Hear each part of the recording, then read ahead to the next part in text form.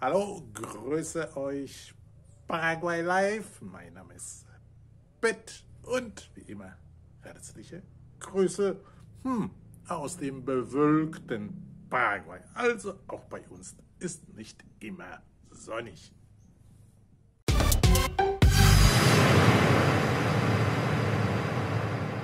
Also bevor ich zum Thema komme, wollte ich euch an dem bewölkten Tag im vollen Winter etwas Garten zeigen. So, aber jetzt zum Thema. Viele von euch, vielen Dank wieder für eure Fragen, haben gefragt nach dem Hauskauf. Klar, also über Grundstücke haben wir schon gesprochen und zum Grundstückkauf gehört natürlich auch Hauskauf. Und in diesem Video sprechen wir und ich zeige euch etwas von dem neuen Haus, was gerade eingefangen wird, wo natürlich auf meinem Traumgrundstück und nicht nur auf meinem Traumgrundstück. Wir haben schon einige davon verkauft, also schaut euch das gerne an.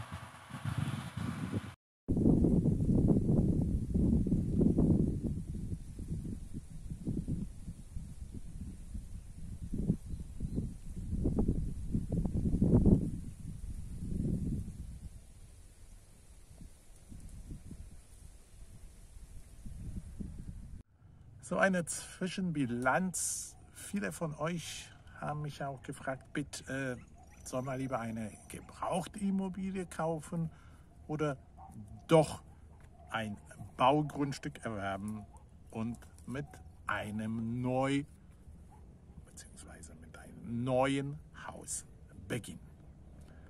Gute Frage und mittlerweile nach 18 Jahren Aufenthalt in Paraguay bin ich mehr als überzeugt, dass es auf jeden Fall Neubau die richtige und korrekte Wahl ist. Warum, werde ich euch gleich erzählen.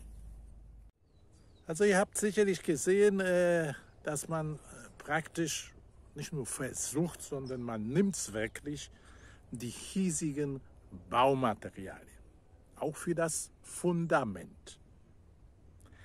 Warum Neubau? Ist ganz einfach. Bei alten Gebäuden, also sicherlich diejenigen, die schon in Paraguay waren, können zu 100% bestätigen, dass man in Paraguay relativ viele Häuser sind mit feuchten Mauern bzw. feuchten Fundamenten. Und da liegt das größte Problem.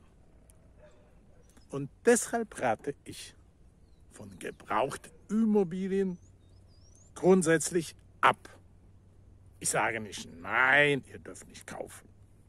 Gut, es kommt immer darauf an, welche Immobilie. Aber das Problem ist überall zu sehen.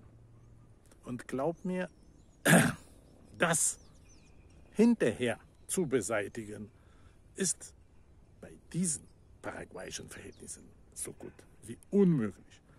Daher lieber ein tolles Grundstück kaufen, ein Baugrundstück. Lässt euch ein Haus planen oder im Prinzip selber zeichnen und wir als Team übernehmen natürlich die weitere Vorgehensweise für euch.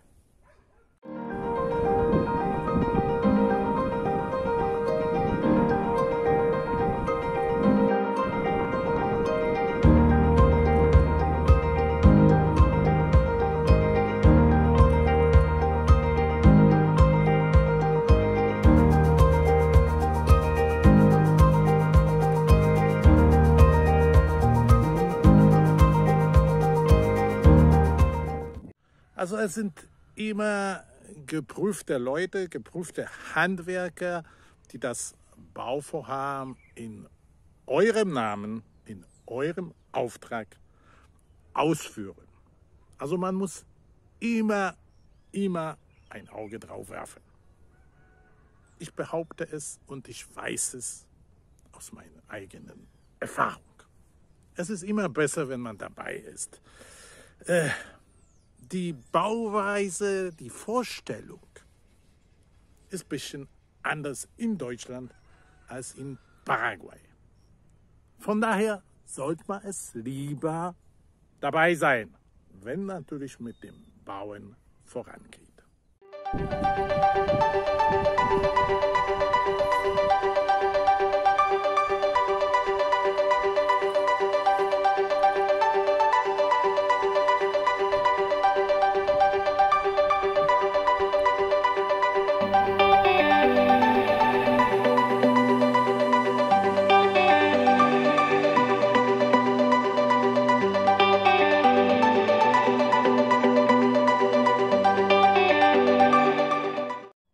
Aber nichtsdestotrotz kann man sich immer auf unsere Leute verlassen. Wir gehen noch ein Stückchen und äh, die grundsätzlichen Arbeiten uns, also unserem Team, überlassen. Ich behaupte immer wieder und ich werde immer wieder sagen, es ist immer besser, wenn die Bauherren, ja, sei es du oder du oder vielleicht ihr in der Zukunft einfach beim Bauen dabei seid. Äh, man kann auf jeden Fall Grundstücke erwerben, vorab Grundstücke erwerben, äh, Zaun bauen lassen, äh, grundsätzliche Vorbereitungen erledigen lassen. Das ist überhaupt kein Problem. Aber grundsätzlich bei dem Hauptkaus sollte man mal schon dabei sein, äh, damit das nicht irgendwelche Missverständnisse entstehen. Ich sage immer wieder, die Kunden, in dem Falle ihr, sollten natürlich zufrieden sein mit unserer Leistung bzw. mit der Leistung von den Handwerkern. Und man sollte sicherlich das Ziel gemeinsam angehen, damit zum Schluss der Reise alle zufrieden seid. Also, eine kurze Zusammenfassung. Äh, Haus kaufen, ja. Neubau, ja.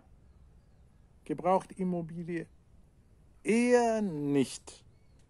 Wobei, wie gesagt, oh, greifen nicht schon die Pflanzen an in Paraguay. Ha! Spaß beiseite. Also, wie gesagt, normalerweise ist immer gut dabei zu sein,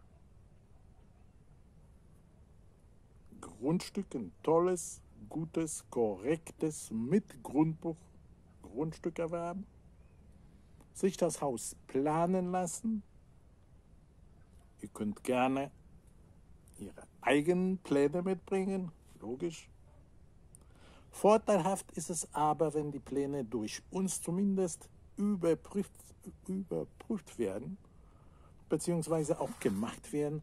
Äh, warum weil die Baumaterialien einfach anders sind. Ja? Also sowohl die Stärke der Baumaterialien als auch die, äh, ja, ich sage mal, die Ausführungsmethoden sind da etwas einfacher.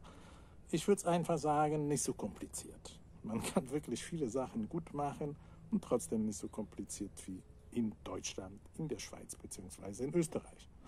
Also lasst uns doch unsere Arbeit machen ich bin sicher, dass wir wirklich die Arbeit gut erledigen durch unsere Fachkräfte und man ist immer zusammen vereint.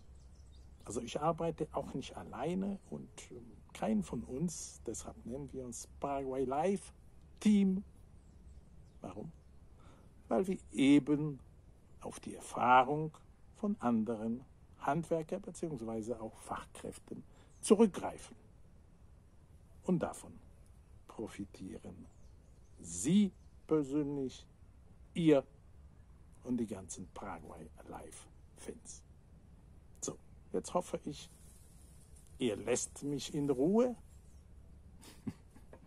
Spaß beiseite. Also, falls ihr Fragen habt, äh, unten bitte in den Kommentaren die Fragen stellen.